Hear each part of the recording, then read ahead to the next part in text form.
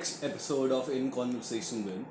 Today we have Karan Katiyar from Bloodywood and we'll be talking to him about Bloodywood's upcoming European tour. So let's get it started. So Karan, Bloodywood is going on a Europe tour.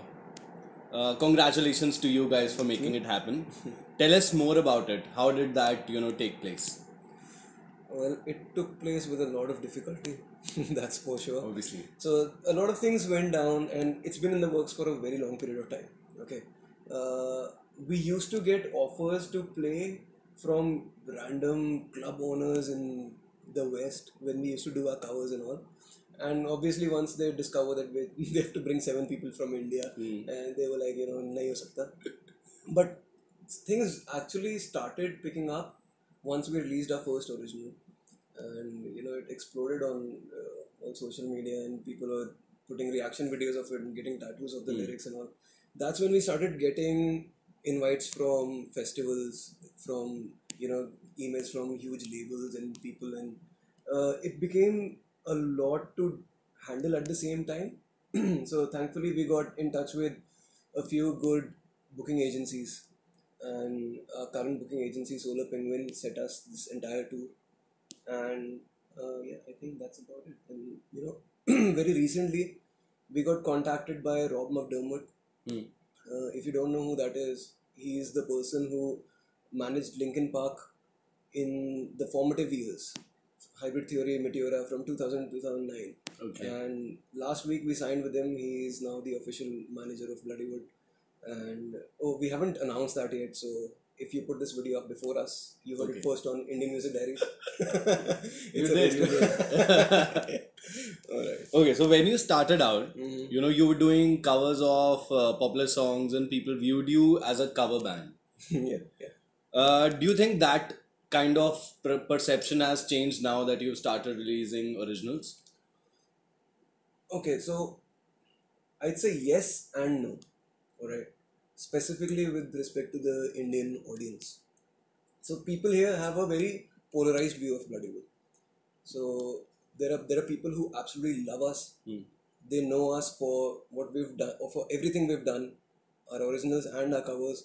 And then there are people who think of you know bloodywood as the band who did covers of kendrick lamar and rebecca black and get to play back and then go on an 18 speed tour Hmm. I mean, I understand the hate. I'd fucking hate a band that you know just played covers and gets to go to Wacken, but that's not true. Hmm. So yeah, you know, I'd say that with this question, you've also kind of asked me whether you know uh, the division of people and the perception. Yeah. So there are people who love us and there are people who hate us and there are people who know us for everything we've done and there are people who No. know us for only just just just the covers. Yeah. Okay. Okay. So, uh, following up uh, with that question, what makes people love Bloody Bloodywood? Okay. Uh, so I need to give some perspective to this question. Okay. A lot of people in India don't know that we have originals, and over the past uh, one year, slightly more than a year, we've only put out originals. Alright. And let me talk about, about them. Jee Veerey got, I think, 800,000 views on uh, YouTube and I think 5 million on Facebook. Endurant got half a million on Facebook and it's at 300k on YouTube. Machi Bhasad, the, the song that just came out, Mm-hmm. it got 800,000 on YouTube and it's, I think, on the same number on Facebook. Now, to put this in perspective, it's very difficult today to get numbers like these on originals. Okay, let alone uh, heavy metal. Yeah. Okay, or any kind of metal for that. Exactly. Uh, I'll give you an example. So Scott Stapp, Hmm. the vocalist of Creed, Yeah. he he released his original ten days before we released Machi Bhasad last month, last to last month, and his video is at six lakhs right now, and ours is at seven. I'm not saying that he's doing a bad job at all. The video is pristine. The song is amazing. Hmm. I'm just trying to tell you that it's really difficult Hmm. today to get numbers like those. And Yeah. There's a reason why that's happening. Hmm. And the, if you want to know the reason why our originals work really well, why people love us so much, all you need to do is go to any of our originals. Mm. Okay. If you don't like the music, mute that shit. go to the comment section Yeah. and just go through. I mean, go through any of the comments. Okay. there are people literally pouring their hearts out Yeah, on the yeah, on the internet of all places where you Yeah. you know you're not supposed to post anything emotional or you're, someone's gonna say something about you. Yeah. So, you know, to give you an example of the comments that we get on our first original G video, I Hmm. remember there's this woman, uh, a single mother of three children. Hmm. Okay, she posted that she was having a very hard time, uh, you know, managing three kids, and you know, also fighting a terminal illness at the same time. And she uses that song to wake up and work for her kids every day. Right? Wow. Yeah. Someone messaged Raoul on Facebook Hmm. that, uh, and this is a war veteran from the US. Okay, she was a medic in the uh, US Army, and she said that she was literally cleaning her bathroom uh, because she wanted to commit suicide right after it. Okay, and she just before doing that, she picked up her phone and was typing goodbye messages to people, and she came across our video and she stopped. Okay, she chose life over it. If music can do something like that, I mean, we didn't know that. All right, even when Oh, so you we- guys yeah. did not have Yeah. an idea that this no, no, we, music would. we didn't. In fact, with our first original, we you, you know how it is. We've all Exactly. released originals earlier, and we know what the numbers are. Hmm. But this worked. Hmm. Okay, this really worked. Hmm. In our second original, also, if you look at, uh, I, I remember a comment from a therapist in the US. Hmm. Okay, who works with kids. So our second original is Endurant. It's about fighting bullying. Okay, dealing with bullying Hmm. Yeah, in all kind of places. Okay, so now that person, that therapist, has commented on the video that he uses that video to whenever he gets a new patient to work with. First, he shows them that video. Hmm. Once he once they see that video, Hmm. there's a huge emotional outburst. Hmm. Okay, and then they're open to conversation. Then Yeah. he uses a metal video as a tool to help kids. I mean, That's pretty amazing, Yeah, man. you, like- you, you don't you don't see that. Yeah. You, you really don't see that happen. You know what stereotypes are associated exactly. with metal. right? Especially. So yeah, you know yeah. uh, that I think if you really want to know why we are going to Wacken, why our originals work, why we get such good numbers, Hmm. it's it's all there. It's it's in the comments. Hmm. It's not on the numbers. It's really not in the numbers. It's in the comments. You know. Definitely. So I think if you want to know why people love us, just go to our comments. Definitely. Yeah. Uh, do you think the Indian metal community, Mm-hmm. you know, hasn't accepted you guys as much as people from other countries, you know, have? Okay. Uh, I'm not sure about that yet. Hmm. right because we get a lot of messages from people in india and the southeast asian region in general that they're really proud of us Hmm.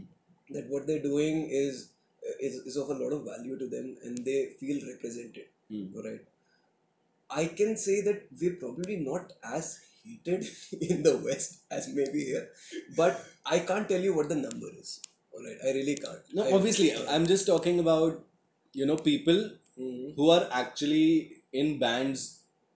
I'm talking about those people. Okay. People who are in bands in the metal community in India. Oh yeah, okay. So Those people. yeah, that's a different story altogether. So I'll I'll uh, start off with telling you that it's a very small number. Obviously. It's a very obviously. you know, it's a बहुत handful छोटा of number. people. Yeah, metal Yeah. musicians कितने ही हैं? हाँ, right? बिल्कुल. बहुत कम है, and it's fine if they hate us. It doesn't really matter. They they're not very. I mean, the Delhi scene is very very supportive of us. Hmm. Very supportive. I don't. I haven't met a single person who's except for the guy, the drunk guy in the party that we were at, Oh, who, okay. who came up to my face and told me, "I fucking hate your band."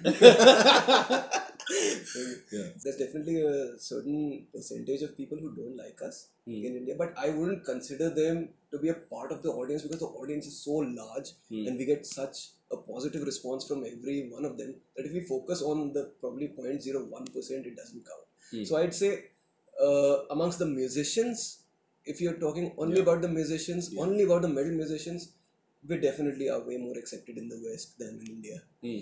Uh, but if you talk about audience in general, it doesn't count at all because you know it's so uh, the people who love us are you know You're spread out in more, like, yeah all of the countries. Yeah. So you got got put on the Wacken Open Air lineup, Mm. and after that, you had a Facebook post calling out the guy who is the gateway keeper of the Indian edition. Mhm. Uh, what do you have to say about that? okay so first I'd like to say that I wasn't calling him out Hmm. if you read the post, Hmm. okay, it was a post aimed at new musicians. Hmm. Uh, I didn't mention his name anyway. Yeah, you didn't. Uh, in all the comments, in the in the screenshots that I posted, I redacted his name. I was trying to avoid any type of name calling in that post, but he himself came and started posting there, and Yeah. then you know his army Yeah, yeah, yeah. started posting about it. So anyway, uh, about that post, I'll tell you what. It, it was it, it was aimed at fresh musicians, new musicians, new artists Hmm.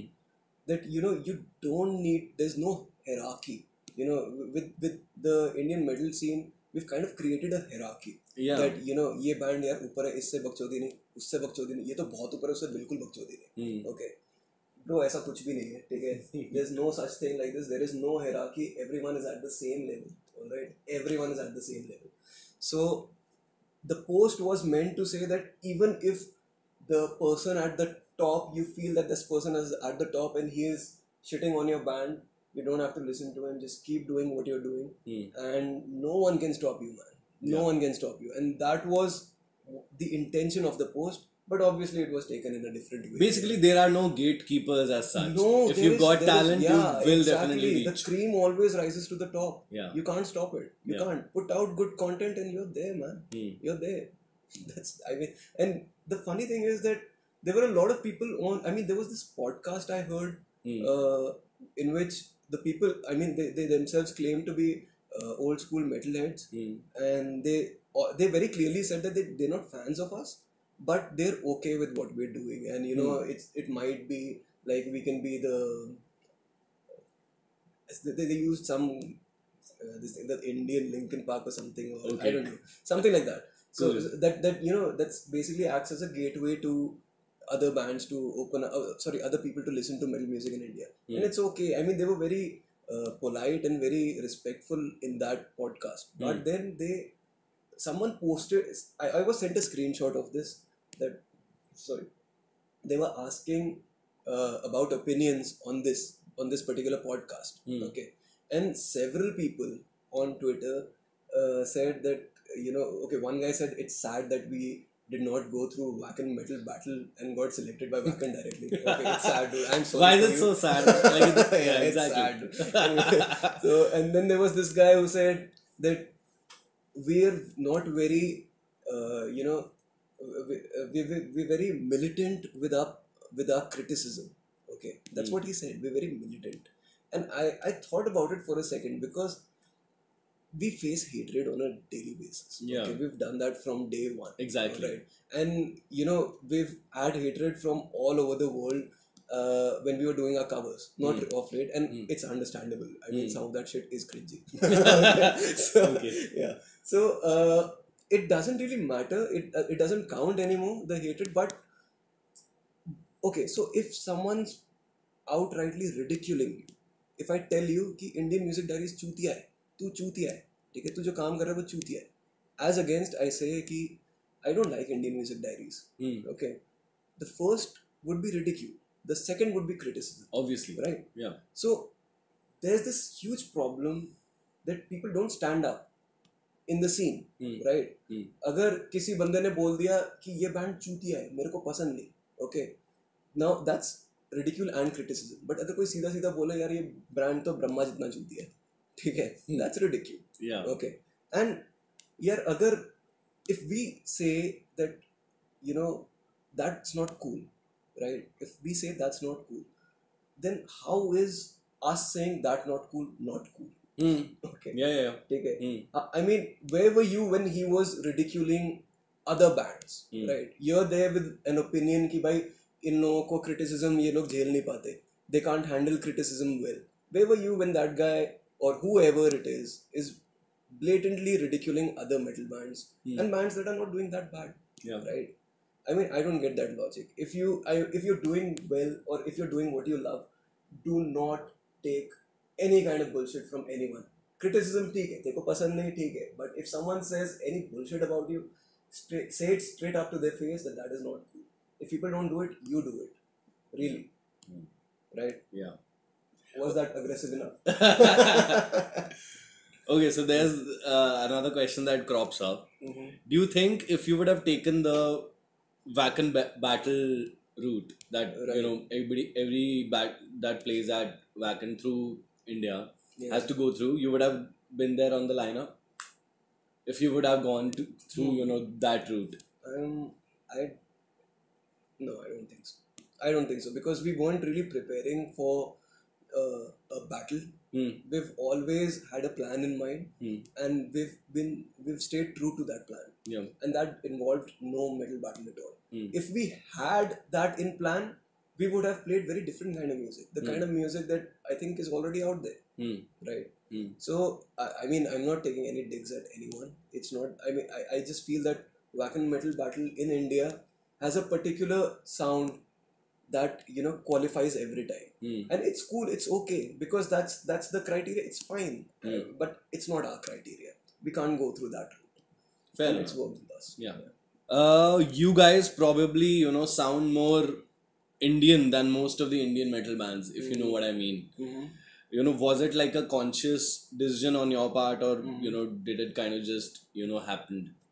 Okay. Uh, several things about this question. Uh, with Indian sound, okay, a lot of bands have been doing this earlier. Mm. Okay. If you look at bands like Pineapple Express, Mm. they're amazing. They've got like, and you know, bands in South India, they really embrace the Carnatic Exactly, sound. a They, lot they of do them that. do, yeah. But I don't see, I, in fact, I didn't see anyone doing that, doing that in North India, Mm. right? And we've kind of encompassed that Yeah. right? We- We've kind of probably been the first persons to do that, and thankfully people like it. Hmm. But uh, coming to the second question, that was it. Uh, what was the second question? Was it a part of? Was it like a conscious decision, or Oh, like, you know, did it just Right, like right. you know happen in the course of time? So I'll I'll have to go back a bit for this question. Uh, we started off doing covers because of the only reason that we wanted to survive off metal. Hmm. That was the only reason. There was no other reason. Hmm. Okay. Yes, we did a few covers for fun. In fact, I don't think even Jayant was involved in that in the beginning. Hmm. You know the ones I put up the abusive amma and all that stuff. Yeah, okay. right. That that was just for fun. But once Jayant came into the picture and we put up one thing together, Yeah. that's when you know we both decided that if we can, we will make this happen. Hmm. We will survive off metal even if we have to do covers. I mean, I mean, it's still way better than doing a nine to five, Yeah. right? I'm sure you will agree. Yeah. I would like to. yeah. So, so uh, yeah, we quit our jobs. We did that, but we also had a plan in mind. Hmm. We always thought that we will transcend into originals. Hmm. And during that period, we also tried to understand what it takes to make an original work. Hmm. It was a very lengthy process, Hmm. and we finally came to the simplest of conclusions. You need to be original. That's what an original is. You can't Obviously. play a sound that exists, Yeah. right? Otherwise, you're not going to make it, man. Hmm. So the first experiment was with this is all inside knowledge, okay? first on IMD again. Yeah. Okay. The first uh, the first experiment was at Mundia to Bachkere. Hmm, hmm, Okay. That's when we decided, okay, we've done too many of this cookie cutter cover stuff. Let's now start to think of what we can do with our originals. And we first thought of the sound, which Hmm. was a very Indian Punjabi thingy. And back in 2005, I'd actually put up a status on Facebook. What do you guys think of Punjabi metal? Hmm. the comments were full of vomit reactions. Everyone vomiting and feeling fuck off and all of that. Yeah. shit. okay, I think I think this will work. so, so that's when we did that, and it did really well on Reddit and really well generally. Yeah. And we understood that we're on to something now. But then that song's already popular Hmm. outside. Hmm. So then we did Tunak Tunak, and that had the Punjabi song also. But then again, that song was already popular outside. Hmm. Now we had to remove the popularity outside wala element. and then test yeah, the Yeah, concept out. exactly. That's when we did Ari Ari, but we did it with Raoul. Yeah. Okay. So Ari Ari, not a lot of people know. Hmm. Okay. We did that with Raoul. We changed the song up a bit. I think only the chorus is uh, the similar part, the similar thing, Hmm. Yeah. and that exploded. And we knew at that very moment that this is what our sound's gonna be. Cool. Yeah, that's when we knew, and that's when we came up with our originals, and then it's been on an upscale ever since. Uh, and so I hope that answers your question whether we had a plan in mind. It does. We did, Hmm. and thankfully it's been working really well for us. Cool. this period of time. So, what is that one thing you would like to say to you know new upcoming metal bands especially? You absolutely have to be original. Hmm. You cannot replicate someone else's sound. Build on it, but be original. Hmm. Put something in that no one has heard of, and you know, it's it's not that difficult. It's really not. There are a million sounds that people haven't heard. Exactly. Metal right now, the entire metal market is craving for something new. It's literally craving for something new. If you look at uh, this band called Clowncore, I think it's called. I'm not sure whether you've seen the video. I, I think I Yeah, have, you've yeah. seen the video of two guys They- playing in a toilet. Yeah, yeah, yeah. yeah, yeah, yeah. That's a sound I haven't heard. Right? I mean, if you, even if you mute the video, the audio is shit. But the the music is amazing. Yeah. All right. Hmm. So just be original, man. Like be original. Put your music out there. Try to promote it as much as you can. Stay away from stereotypes, and you know you you'll be on your way. Man. Nothing can beat good content. Absolutely nothing can beat good content. Definitely. Okay, so we have this short rapid fire session, and you have, I'm gonna I'm gonna give you questions, and you have to answer them as soon as possible. Okay, in like two three seconds probably. Okay, so first, most overrated band. Bloodywood. Uh no, I'm gonna follow up another. Or one. Most annoying thing about the scene. Mm, most annoying thing. Lack of venues. Like, If you had to go on a tour with an Indian metal band, who would it be? Or. You know what happened with Undying Inc recently, right? Right, Shashank left. Right. Okay, so Shashank or Sunneith? Shashank. Any day, Shashank. Yes. Okay, cool. Sunneith Revankar, right? Yeah, Yes, Sunneith Shashank. Any day. Any day. Cool. Yeah. Okay, so that was our episode. Oh, of, that's it. Yeah. Oh. so that was our oh. episode of In Conversation with, and here we have Karan Katiyar from Bloodywood, and we're gonna wish them lots of success and a great European tour. Thank you. Thank you. Cool.